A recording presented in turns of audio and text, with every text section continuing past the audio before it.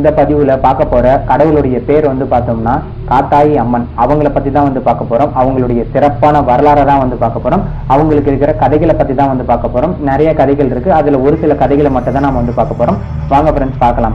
இப்போ காத்தாயி அம்மன். அவங்கள வந்து பார்த்தீங்கன்னா எப்படிலாம் சொல்கிறாங்களோ வந்து பார்த்தீங்கன்னா முருகப்பெருமானுடைய மனைவி வள்ளின்னு சொல்கிறாங்க அது மட்டும் இல்லாமல் சத்த கன்னிகள் ஏழு பேரில் ஒன்று ஒருத்தவங்கன்னு சொல்கிறாங்க அது மட்டும் இல்லாமல் நம்மளுடைய விஷ்ணுவுடைய மகன்னு மகள்னு வந்து சொல்கிறாங்க அது மட்டும் இல்லாம அவங்களுக்கு வந்து பாத்தீங்கன்னா வேற சில கதைகளும் இருக்கு. நம்ம இதுல இருக்கிற இந்த சில கதைகளை மட்டும் வந்து பார்க்கலாம். இப்போ வந்து பாத்தீங்கன்னா முருகப்பெருமானுடைய மனைவி. ஏன் வந்து இவங்களை வந்து முருகப்பெருமானுடைய மனைவின்னு வந்து சொல்றாங்கன்னு வந்து பார்த்தோம்னா இப்போ வந்து பாத்தீங்கன்னா முருகப்பெருமானை வந்து ரெண்டு பெண்கள் வந்து அவங்க திருமணம் செஞ்சுக்கணும்னு சொல்லிட்டு வந்து கடும் தவம் இருக்கிறாங்க. ஒருத்தவங்க பேர் வந்து பாத்தீங்கன்னா அமுதவல்லி இன்னொருத்தவங்க பேர் வந்து பாத்தீங்கன்னா சுந்தரவல்லி. இவங்க இந்த ரெண்டு பெண்கள் தான் இவங்க வந்து தவம் இருக்கிறது வந்து பாத்தீங்கன்னா முருகப்பெருமானுக்கு வந்து தெரிஞ்சிருது. அவர் வந்து பாத்தீங்கன்னா மனம் நெகிழ்றாரு. ஆனா அவர் வந்து ஒரு வைராக்கியத்துல இருக்கிறாரு. என்ன வைராக்கியத்துல இருக்கிறாருன்னு வந்து பாத்தீங்கன்னா அவர் வந்து பாத்தீங்கன்னா ஒரு அரக்கனை வந்து வதம் செய்யணும். அந்த வதம் செஞ்சதுக்கு அப்புறம் தான் நான் வந்து திருமணம் செஞ்சுக்குவேன் அப்படின்ற ஒரு நோக்கத்துல வந்து ஒரு வைராக்கியத்துல வந்து அவர் வந்து இருக்கிறாரு. இதை வந்து பாத்தீங்கன்னா அவர் என்ன சொல்றாருன்னா இதை அந்த ரெண்டு பெண்களுக்கிட்டையும் சொல்லிடுறாரு. சொன்ன உடனே அவங்க ரெண்டு பேரும் என்ன பண்றாங்கன்னு வந்து பாத்தீங்கன்னா அந்த அமுத அதாவது அமுதவல்லின்றவங்க என்ன பண்ணுறாங்கன்னா தேவலோகம் போயிடறாங்க தேவலோகத்துக்கு போயிட்டு அவங்க இந்திரன் கிட்ட போய் வேண்டி நிற்கிறாங்க என்ன வந்து உங்களுடைய மகளா நீங்கள் ஏத்துக்கணும் அப்படின்னு வந்து சொல்லிடுறாங்க. சொன்ன உடனே இந்திரன் என்ன பண்றாங்கன்னா அவருடைய ஐராவத யானை கிட்ட வந்து இந்த பொண்ணை வந்து ஒப்படைச்சு நீயே வந்து வளர்த்துக்கோ அப்படின்னு சொல்லி சொல்லிடுறாரு. அப்படி சொன்ன உடனே யானை வந்து வளர்த்ததுனால அவங்களுடைய பேர் வந்து பார்த்தீங்கன்னா தேவி யானைன்னு சொல்லிட்டு அந்த பெண்ணுடைய பேர் வந்து அமையுது. அவங்க தான் வந்து பார்த்தீங்கன்னா முருகப்பெருமனுடைய ஒரு முதல் ஒய்ஃப்னு சொல்லலாம். அவங்க தான். வேற தேவயானின்றவங்க உடனே வந்து பாத்தீங்கன்னா அதுக்கான சூழ்நிலை வந்த உடனே அவங்க வந்து அவரை கல்யாணம் பண்ணிக்கிறாங்க.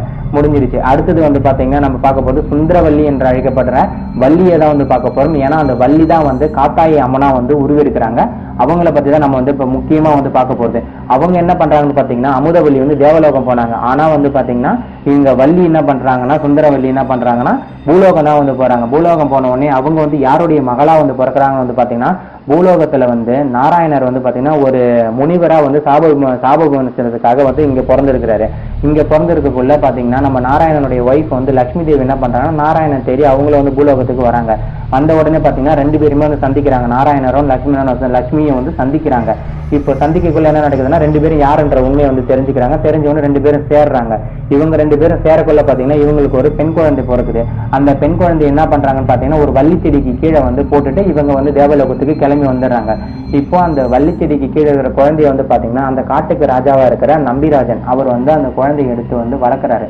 இப்போ வளர்க்கக்குள்ள அந்த குழந்தைக்கு பேர் வந்து பார்த்தீங்கன்னா வள்ளி வந்து அப்படின்னு சொல்லிட்டு பேர் வைக்கிறார். வள்ளின்னு வச்ச உடனே அது வந்து பார்த்தீங்கன்னா ஒரு வேடவர்குல வழக்கப்படி அந்த பேரை வச்சிடுறாரு. இப்போ வச்ச உடனே பார்த்தீங்கன்னா அவங்கக்குள்ள வழக்கப்படி பார்த்தீங்கன்னா அந்த குழந்தை வந்து பருவம் அடைஞ்சிருச்சுன்னா அவங்க வந்து பார்த்தீங்கன்னா திணைக்காட்டை வந்து காவ காக்கிறதுக்காக அவங்கள வந்து பணியமர்த்திடுவாங்களாம். இப்போ வள்ளிக்கு வந்து பருவம் அடைஞ்சிருச்சு. இதனால் என்ன பண்ணுறாங்கன்னா அந்த காட்டுக்கு பக்கத்தில் ஒரு திணைக்காட்டுக்கு வந்து காவலாக வந்து வச்சிடறாங்க வச்சிடுறாங்க நியமிச்சிடுறாங்க அவங்கள. இதனால் வந்து பார்த்திங்கன்னா இவங்க திணையை காத்ததுனால இவங்களுக்கு பேர் வந்து காட்டாயின்னு வந்து பேரை வச்சுட்டாங்க. ஒரு நல்ல நாள் அதுக்கான நேர காலம் அமைஞ்ச உடனே அவங்க முருகப்பெருமானுடைய இரண்டாவது மனைவியாகவும் ஆயிடுறாங்க. இப்போ வந்து பார்த்தீங்கன்னா இந்த காத்தாயம்மனுக்கு வந்து ஒரு மிகப்பெரிய அழகான ஒரு கோவில் எங்கே இருக்குன்னு வந்து பார்த்தோம்னா தஞ்சாவூரில் வந்து பெரிய கோவில் வந்து கட்டி வச்சிருக்காங்க. அந்த கோவில் வந்து இந்த காத்தாயம்மன் அம்மன் மட்டும் கிடையாது.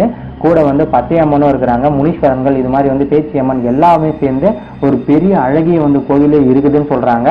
அது மட்டும் இல்லாமல் அந்த கோவிலில் வந்து பார்த்தீங்கன்னா தஞ்சை ஆண்ட நாயக்க மன்னன் வந்து ஒரு துறவிக்கு வந்து தானமாக கொடுத்த ஒரு ஊர் அதாவது சித்தடின்னு சொல்லிட்டு ஒரு ஊர் சித்தடின்னு சொல்லிட்டு அந்த ஊரில் அந்த கோயிலை வந்து கட்டி கொடுத்ததா வந்து சொல்கிறாங்க அதனால் வந்து பார்த்தீங்கன்னா அந்த ஊரில் இருக்க அந்த காத்தாயி அம்மனுக்கு வந்து பார்த்தீங்கன்னா சித்தடி காத்தாயி அம்மன் சொல்லிட்டு வந்து அழைக்கிறாங்க. அவ்வளோ வந்து ம- அருமையான ஒரு கோவிலும் அது. அது மட்டும் இல்லாமல் அந்த அம்மனை வேண்டிக்கிட்டு வரவங்களுக்கு வந்து பார்த்திங்கன்னா எல்லாமே அந்த அம்மன் வந்து நிறைவேற்றியும் கொடுக்குறாங்க. இது ஒரு கதை.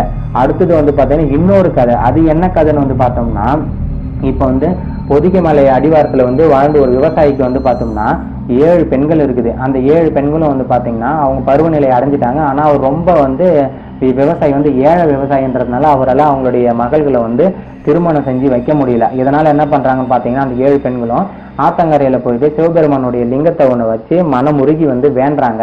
வேண்டக்குள்ள பாத்தீங்கன்னா சிவபெருமான் வந்து ஒரு வழிபோக்கனுடைய உவ- உருவத்துல வராரு. வந்து அந்த அவர்களுடைய பூஜைக்கு வந்து இடையூறு செய்யறாரு ஆனாலும் அதை பார்க்காம வந்து பாத்தீங்கன்னா இவங்க பூஜை செய்யறாங்க அப்புறம் ஒரு கட்டத்துல வந்து அந்த ஏழு பெண்களும் வந்து பாத்தீங்கன்னா அந்த இடத்த விட்டு வந்து சிதறி ஓடுறாங்க. சிதறி ஓடனோடனே ஒரு காலகட்டத்தில் அந்த ஏழு பெண்கள் வந்து மறுபடியும் அந்த ஒரே வந்து சந்திக்க வராங்க. அப்போ ஆறு பெண்கள் கிட்ட வந்து அப்படியே வராங்க. ஒரே ஒரு பெண் மட்டும்தான் கையில வந்து கை குழந்தையோட வரா. அது யாருன்னு வந்து பாத்தீங்கன்னா நம்மளுடைய காத்தாயி அம்மன் மட்டும்தான் கை குழந்தையோட வராங்க. அப்ப வந்த உடனே ஏழு பெண்களும் வந்து பாத்தீங்கன்னா உங்ககிட்ட மட்டும் என்ன குழந்தை இருக்குது? அப்படின்னு கேட்கக்குள்ள அங்க வந்த அந்த வேடுவ குலத்தவன் அதாவது அந்த வழிபோக்கன் வந்து பாத்தீங்கன்னா என்னை வந்து சீரடிச்சிட்டான் அதனால வந்த குழந்தை தான் அப்படின்னு சொல்லக்குள்ள அதை நம்பல யாருமே. நம்பலன்னு அப்ப நீ இந்த நெருப்புல இறங்கி வந்து சத்தியம் பண்ணு அப்படின்னு சொன்னோடனே அந்த காத்தாயி அம்மன் பார்த்தீங்கன்னா நெருப்பில் இறங்கி உண்மையை வந்து நிரூபிக்கிறாங்க.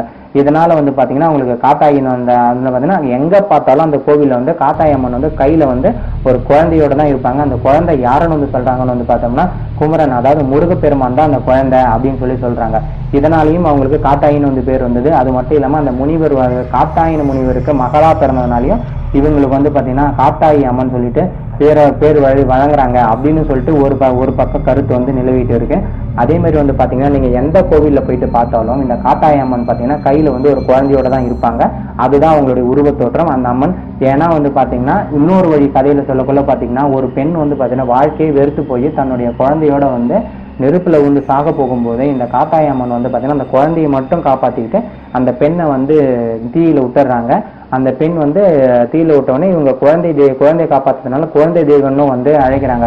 உடனே இதை பார்த்துருந்தவங்க நீ ஏன் அந்த பெண்ணையும் வந்து காப்பாத்தாம குழந்தையை மட்டும் காப்பாத்தன? அப்படின்னு சொன்ன அதுக்கு கேட்குறாங்க நான் வந்து பாத்தீங்கன்னா அந்த பெண்ணை வந்து பாத்தீங்கன்னா தீப்பாஞ்சி அம்மனா வந்து என் கூடயே வந்து என்னுடைய துணை தெய்வமா நான் வச்சுக்கணும். அதனால சொல்லி நான் அவளை ஆட்கொண்டு தெய்வமாக்கிட்டேன். அப்படின்னு சொல்லிட்டு நம்மளுடைய காத்தாயம்மன் சொல்றாங்க.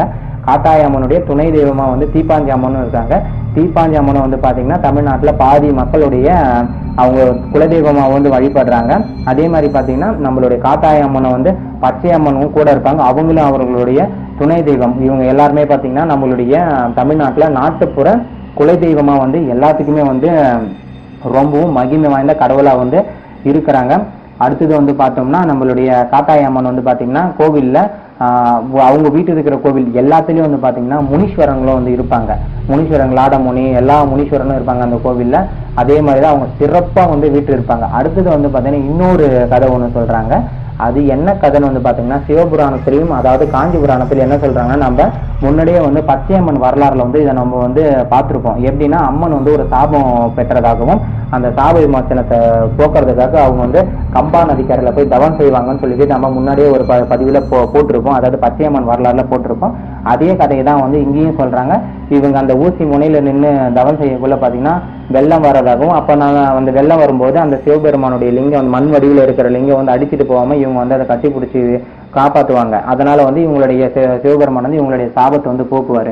அந்த கதை வழியாகவும் வந்து பார்த்தீங்கன்னா இந்த காத்தாயம்மனுக்கும் வந்து சொல்றாங்க. இதனாலேயே வந்து பார்த்தீங்கன்னா சிவபெருமானுக்கு வந்து அவங்க கட்டி தழுவி காப்பாற்றினதுனால அவருக்கு வந்து அந்த அவர் வந்து தழுவிய பெருமானே அப்படின்னு சொல்லிட்டு ஒரு பேர் கிடைச்சதாகவும் வந்து சொல்கிறாங்க இப்படி வந்து பார்த்தீங்கன்னா நம்மளுடைய காத்தாய் அம்மனுக்கான பெருமையை வந்து பார்த்தீங்கன்னா நம்ம சொல்லிக்கிட்டே போயிட்டே இருக்கலாம்.